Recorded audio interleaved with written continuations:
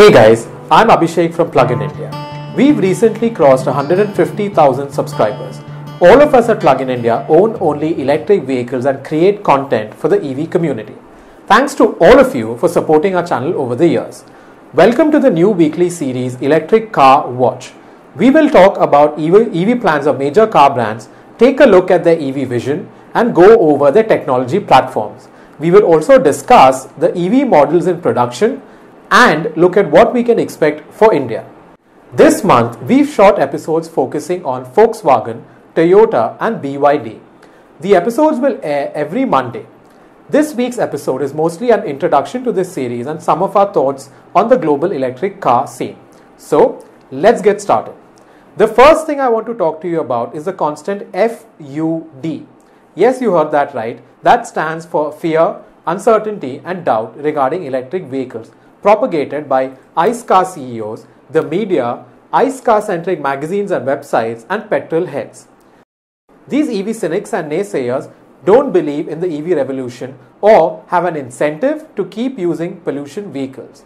They think EVs are just a new fad and will go away soon and they want no part of it. For our EV advocacy, which will benefit Indian cities and the Indian economy in the long run, we've received abuse and personal attacks. We don't know who these people are, but they are definitely scared and afraid to change. If you encounter such people or articles, all you need to do is point them to the numbers and trends in the auto market. The Tesla Cybertruck has more than 1.3 million pre orders. The Rivian truck has 50,000 orders. How many petrol or diesel pickup trucks have such pre order numbers? The Tesla Model 3 in 2016 got 400,000 pre orders in just one week. Which ICE sedan has seen so much demand on launch? In India, even though it's not an electric car, the Ola electric scooter got bookings worth rupees 1100 crore. Where have we seen such numbers with ICE vehicles? Battery packs from BYD, CATL, and Tesla all reported having 1 million kilometers of usable life. Just think about that for a second. The average lifespan for petrol or diesel car is around 200,000 kilometers. If you buy an EV that lasts a million kilometers, this EV will last three times longer than an ICE car. That's right, three times longer. By 2030, you can expect battery packs to last 2 million kilometers. I won't be surprised if they top even that number given how battery tech is advancing. In the coming decade, battery prices will go down, whereas the cost of petrol will keep going up. By 2030, most people will choose to buy EVs as it won't make financial sense to buy a pollution car. These are the real facts. When someone says EVs are a passing fad, just share these data with them. Unfortunately, car companies in India like Maruti, Toyota, Honda, Nissan, Renault, Kia, and Volkswagen have not yet launched even a single electric car. These companies keep propagating false narratives about EVs. Every week, you listen to a dinosaur in a suit saying there is no demand for EVs in India. Let me ask you something. If there's a four door EV hatchback launched at 7 to 8 lakhs that goes 200 km per charge, won't most of you opt for it rather than ICE hatchback that costs 5 to 6 lakhs? These car companies can launch such a car today but their claim that there is no demand for EVs is just self serving propaganda.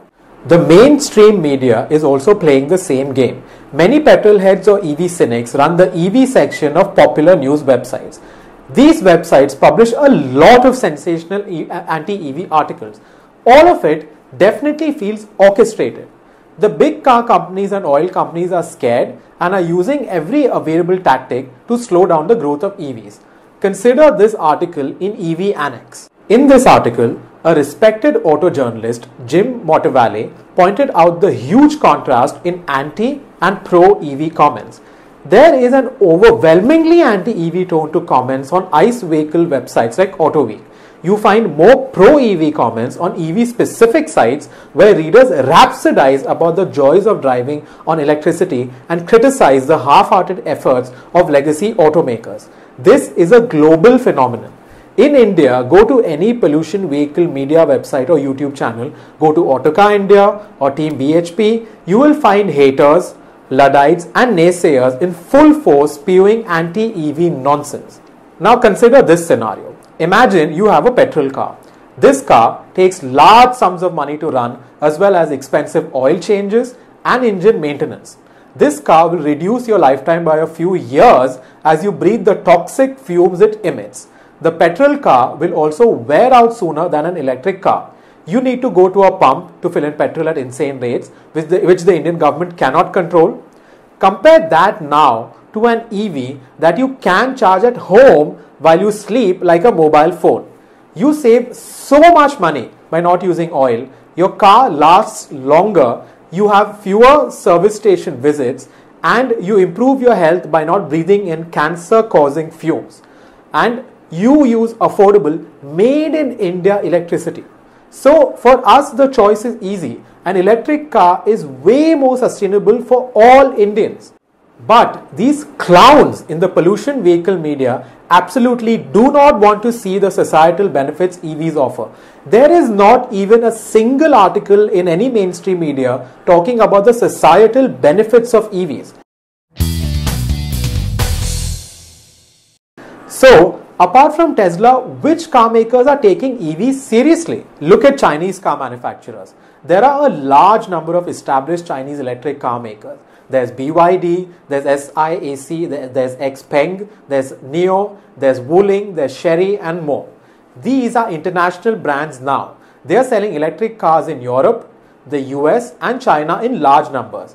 Chinese auto will play a significant role in the auto industry in the future, whether you like China or not, and for the record, I do not. That is the reality. I expect BYD to be one of the world's largest EV makers. Among the German giants, Volkswagen and Audi are phasing out combustion vehicles. They have a progressive EV vision, and I expect huge things from the Volkswagen group. And don't forget that it took a major controversy like Dieselgate for Volkswagen to course correct. As for the Japanese giants, Toyota, Honda, Nissan, all of these are in denial, whereas the American giants, Ford and General Motors, are floundering. Ford, as you know, has left India. In India, car makers have no clue. Mahindra got an early start and then dropped the ball hard. Only Tata Motors seem to have any sort of EV vision. Most of these legacy automakers selling ICE cars are clueless and have no idea of the tsunami about to hit them.